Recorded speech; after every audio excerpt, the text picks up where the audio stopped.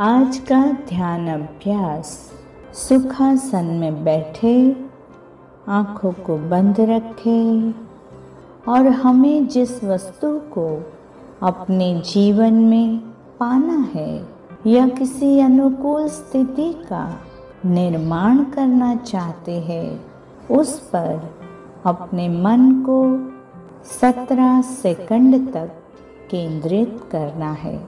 ऐसा हमें छह बार अभ्यास करना है।